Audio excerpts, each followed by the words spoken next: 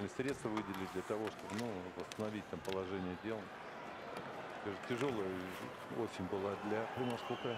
Салават Юлаев атакует вчетвером, между прочим. Бодров прокатился и забил 33-й номер. Капитан Салавата Юлаева принимает поздравления за 38 секунд до выхода на лед Хартик Кайнина.